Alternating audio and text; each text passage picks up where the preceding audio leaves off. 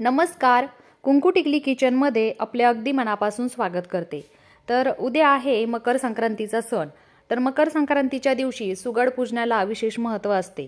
तर आजच्या व्हिडिओमध्ये आपण बघणार आहोत की सुगड पूजा कशी केली जाते सुगडे किती घ्यायचे असतात त्याचबरोबर वौस्यामध्ये काय काय टाकायचं असतं वौसा म्हणजे काय? तर वौसाला वाण का म्हणतात? तर या संपूर्णबद्दलची माहिती आपण आजच्या व्हिडिओमध्ये बघणार आहोत. त्याचबरोबर घरी सुगड पूजा केल्यानंतर आपल्याला काय काय घेऊन मंदिरात जायचं आहे किंवा तिथे गेल्यानंतर काय करायचं आहे याचा सविस्तर व्हिडिओ तुम्हाला मी आज दाखवणार आहे. तर चला व्हिडिओला सुरुवात करूयात. संक्रांतीच्या सणाला सुगडांची पूजा केली जाती हे सर्वांना माहीत आहे. काळ्या आणि तांबड्या रंगाचे मातीच्या सुगडांची पूजा या दिवशी करत असतात. पण त्यांना सुगड का म्हणतात? तर सुगड हा शब्द खरे तर याचा अपभ्रंश होऊन आला आहे. सुगट या शब्दाचा हा अपभ्रंश झालेला आहे.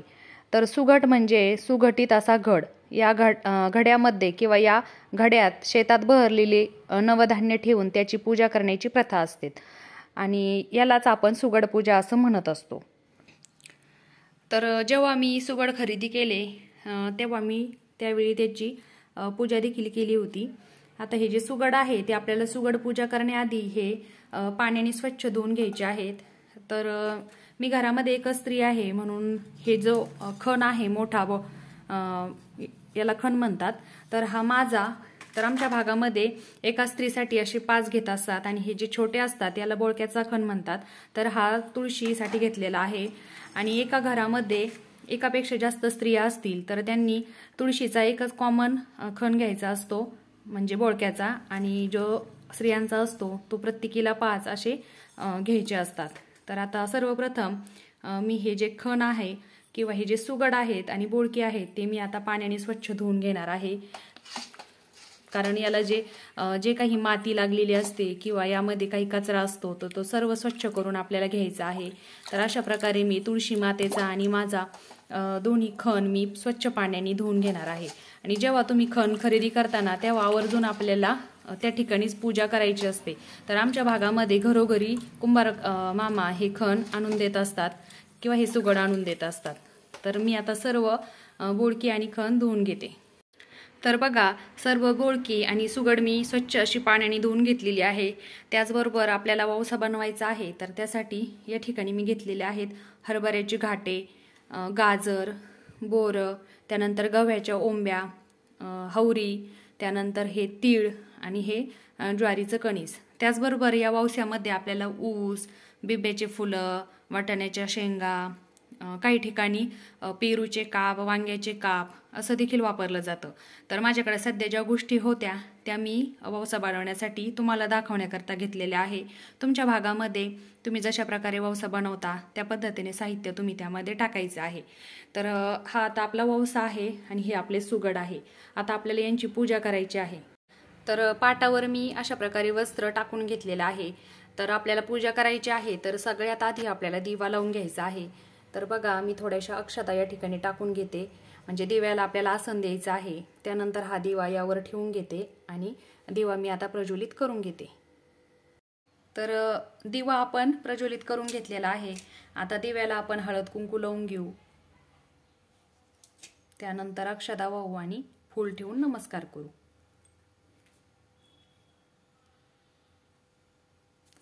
देवाची पूजा झालेली आहे. आता आपल्याला या ठिकाणी सुगड पूजा करायची आहे. तर या पूजेमध्ये तुम्ही गणपतीची देखील सर्वप्रथम पूजा करून घेता. तर माझ्या देवघरातील पूजा झालेली आहे म्हणजे गणपती बाप्पांची पण पूजा झालेली आहे. त्यामुळे मी तुम्हाला या ठिकाणी दाखवत नाही. परंतु तुम्ही श्री गणेशाला देखील आगमन करायचं आहे आणि त्यांची देखील पूजा करायची आहे. तर आता आपल्याला सर्वप्रथम सुगड ठेवून घ्यायचे आहेत. तर मोठी सुगड ठेवायचे आहेत. तर या ठिकाणी त्यांना आसन म्हणून आपल्याला खाली अक्षता ठेवायच्या आहेत. तर मी आता सर्व सुगड यावर ठेवून घेते. तर तुम्ही व्हिडिओमध्ये पाहू शकता अशा प्रकारे मी हे खण किंवा हे सुगड यावरती ठेवलेले आहेत. तर काही भागामध्ये काळ्या कलरचे असतात हे सुगड जसे की आमच्या भागामध्ये आहे. तर काही भागामध्ये हे तांबड्या रंगाचे असतात.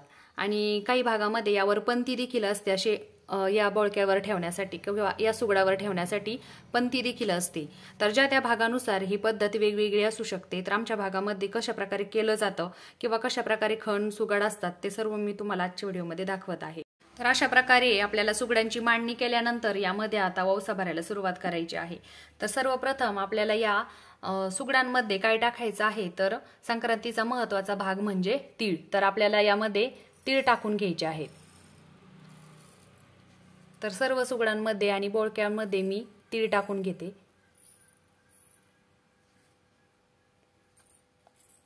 त्यानंतर यामध्ये आपल्याला थोडे थोडे तांदूळ देखील टाकायचे आहेत.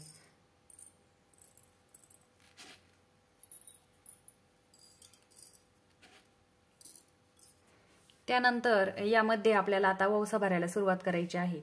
तर तुमच्या भागामध्ये कसं करतात तर तशा पद्धतीने तुम्ही करायचं आहे. तर आमच्या भागामध्ये पण हे गव्हाच्या वंब्या वगैरे सर्व काही एकत्र करतात आणि त्यानंतरच टाकत असतात. तर आता हे गव्हाच्या वंब्या देखील आपण यामध्ये टाकून घेऊ.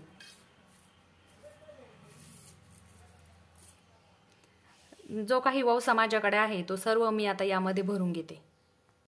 संक्रांतीच्या दिवशी आपल्याला सकाळी लवकर उठून आपलं आवरून घ्यायचं आहे म्हणजे आंघोळ करायची आहे. त्यानंतर आपल्याला सर्वप्रथम काम असणार आहे आपल्याला सूर्याला अर्घ्य देणं.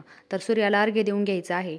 त्यानंतर आपल्याला त्या दिवशी तुळा तिळाचं उठणं देखील करायचं आहे ते देखील आपल्याला लावायचं आहे आणि आंघोळीच्या पाण्यामध्ये आपल्याला हावरी देखील टाकायची आहे. तर हे सर्व आपल्याला सकाळी सकाळी करायचं आहे. त्यानंतर आपल्याला सूर्यनारायणाची पूजा करायची आहे अर्घ्य दिल्यानंतर आणि त्यानंतर आपलं काम आपल्याला आवरून घ्यायचं आहे आणि त्यानंतर आपल्याला सुगड पूजा करायची असते. तर सुगड पूजा आपण जेव्हा करतो त्यावेळी आपल्याला जे काही वौसा आहे तो सुगडांमध्ये भरायचा असतो.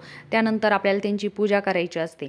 आणि ही जेव्हा पूजा होते आपली त्यानंतर आपल्याला हे जे सुगड आहेत बघा तुळशी मातेचे छोटे छोटे लहान बोळक्यांचे तर ते आपल्याला तुळशीजवळ न्यायचे आहेत. त्यानंतर आपल्याला तुळशीची पूजा करायची आहे.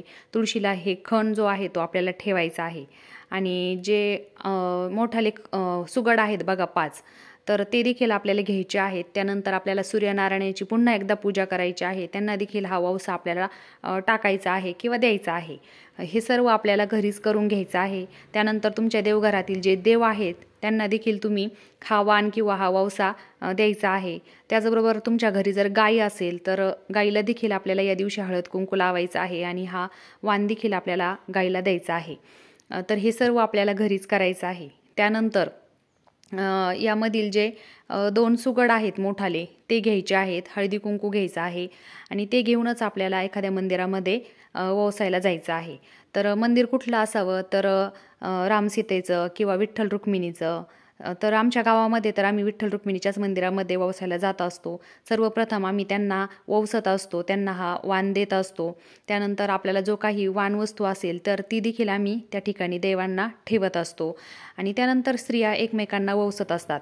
तर काही भागामध्ये काय केलं जातं? तर हे जे सुगड आहेत तर ते ववसल्यानंतर त्या देवाच्या ठिकाणीच ठेवले जातात. परंतु आमच्या भागामध्ये आम्ही ववसतो म्हणजे त्यातील जो ववसा आहे तो त्या ठिकाणी टाकतो. परंतु हे जे सुगड आहेत हे आम्ही घरी घेऊन येत असतो. आणि जो काही ववसा आपला शिल्लक राहिलेला असतो तर तो देखील आपण घरी घेऊन येत असतो. कारण सुगड पूजा झाल्यानंतर दुसऱ्या दिवशी किंक्रांत असते. त्या दिवशी आमच्या भागामध्ये स्त्रिया एकमेकांच्या ओट्या भरत असतात.